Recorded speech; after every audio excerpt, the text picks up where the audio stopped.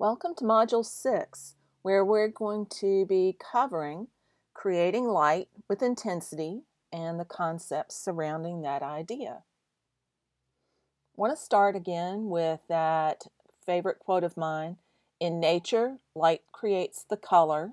In the picture, color creates the light. So, what we're going to be looking at today will be how we can implement that we're going to talk about again, a reminder, the difference between the physical color of the objects and our perception of that color. The key to using intensity to create a strong sense of light.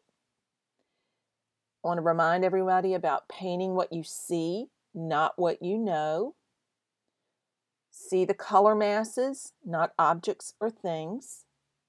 And become sensitive to the relationships of colors really work on comparing one color to the one next to it. Remember that light is defined as a sense of illumination. And we're going to get the strongest sense of light when we move away from using local color, which is that physical color of the object, to using optical color. Optical color is our perceived color. So we're going to work on principles that will lead us to using optical rather than local color. The key to doing that, to creating a strong sense of light, is creating strong contrast between light and dark, which is the value, bright and dull, which is intensity, and warm and cool, which is temperature. Our focus in this module is going to be on the intensity factor, the brightness and dullness of the color. In the last module, we covered light through value and hue. Remember, as we painted this building, we thought about the difference between the local color, which you see in the painting on the right at the top, and using more optical color to create that sense of illumination we used the adjacent or close, next closest intense lighter color to lighten our main color, and a close but inherently darker color to stand in for our shadows. So we were not mixing color by adding white or black, which would have given us local color. So this time, in this module, we are going to add to our arsenal of tools the ability to create light through intensity.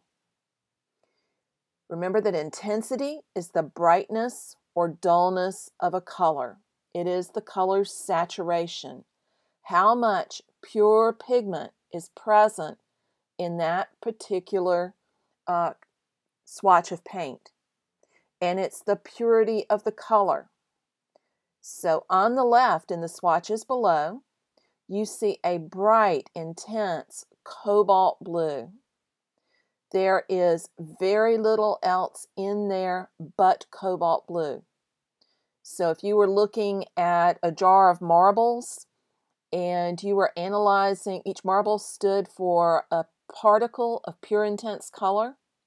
That swatch on the left, all of the marbles in the jar are pure, intense cobalt blue pigment. In the middle is that same color diluted with white. And you can see immediately how much less intense that color is in spite of it being blue. So our jar of colored marbles for the one in the middle has both white and cobalt blue in it, which dilutes or reduces the number of cobalt blue marbles, which means we have a less intense color. The swatch on the right is a completely neutral color. So it is a mixture, in essence, of blue and orange, which gives you a neutral.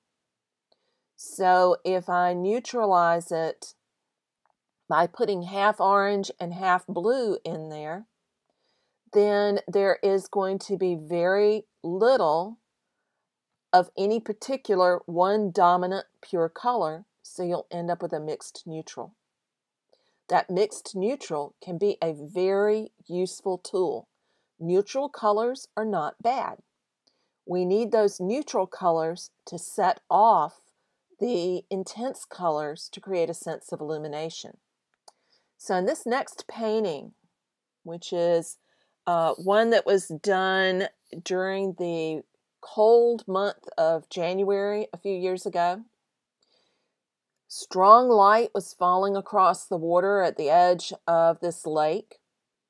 It is in the middle of the swamp, so there are a lot of trees on the edge of the lake and lots of cast shadows from the trees. The sense of light here is created almost completely through intensity, not through value. So value is used very little in this painting to create a sense of light. The darkest color is that shadow of the tree trunks that moves from left to right across the water.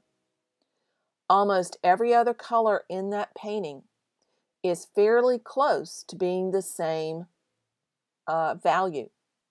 So when you remove the color information, which you can do in a program like Photoshop, you'll see that there is not a tremendous contrast in value in this painting, yet there is a strong sense of illumination. So here is that grayscale photo.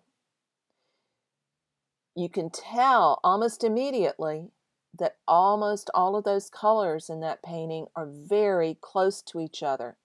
They are within one or two values of each other. So that value is not what is being used to create the sense of light.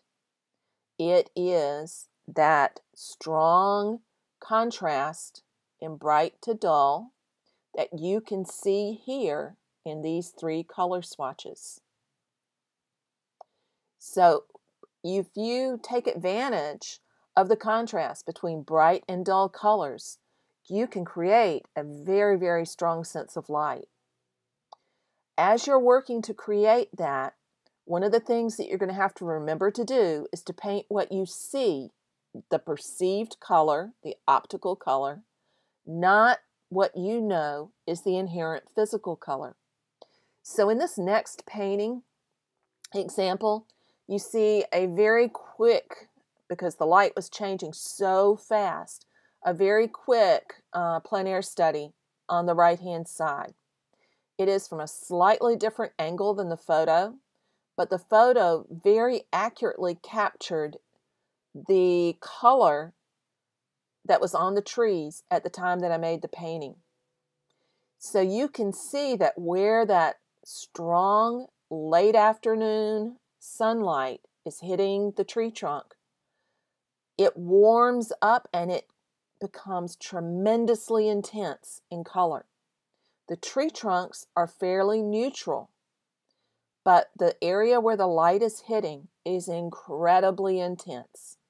So I played off of those contrasts in the painting on the right to capture that sense of illumination so that I could go back later in the studio and try to replicate that lighting situation. You can also see that contrast in this painting of almost that same time of year, late fall, as the afternoon sun is falling across these open fields. These are open cotton fields that have been uh, cut. The cotton has already been collected. Where the light is hitting, you see very, very bright, intense colors. That's a bright orange. Where the field is in shadow, you see a very dull, almost brick red color. So your sense of illumination there is coming from the contrast of bright to dull. And I've closely analyzed the contrast in color that I saw when I was painting this painting. Always work to see color masses, not objects or things. This becomes tremendously important, especially when you're painting outside with landscapes. You want to remember that it's not the form that dictates the color, but the color that brings out the form. So you want to look closely for those color masses. Don't try to paint individual things. In this particular photograph on the left, if I had concentrated on painting each of those individual pine needles or leaves, the entire painting would have fallen apart. Instead, I concentrated on painting the masses of the different areas of color. So I was contrasting intensity against dull, bright against dull, to create a sense of illumination and form. And finally, become sensitive to the relationships of colors. You really want to compare. You want to look closely at the color of an object when you're working from observation. Look at what it's up against. Is it lighter or darker, brighter or duller? Then incorporate that information into your painting. So in the photo on the left, you see again very bright, warm sunlight striking pine trees. So in the area where the light is hitting in the painting, I'm using a very bright, very intense color. It's a very bright orange. To create that sense of shadow, I'm using a duller purple. So if you can begin to really compare one color to the next, you'll be able to begin to create that sense of form and that sense of light. So look closely at the objects you're going to paint. Compare their color aspects. So when you look at that tree on the, in the photograph on the left that is being hit by light, it is much brighter in color than the shadowed tree behind it. So you need to make sure that the colors you choose to use are more intense. And in, as a matter of fact, as you paint, you want to make sure that you exaggerate those contrasts just a little bit so that you more clearly create that illumination. Remember that people are not looking at paintings from the same distance away from it as you are when you're painting it. So you need to stand back so that you can see that you're creating the same degree of contrast. And remember, as we talked about in the last module, the same color or hue can't be used for both the highlight and the shadow. You need to pull out your color wheel and move up in value to an inherently lighter color for the highlight and down in value to an inherently darker color for the shadow. So what we've covered today is the difference between the physical color of the objects and our perception of that color. We've talked about intensity as a way to create a strong sense of light. And three super important reminders paint what you see, not what you know. See color masses, not objects or things. And work hard to become sensitive to the relationships of colors. Compare, look closely and compare. You'll find the directions for our exercise for lesson one below this video. And I hope that this video has helped you understand a little bit more about how to accomplish these five things in your painting. Happy painting, y'all.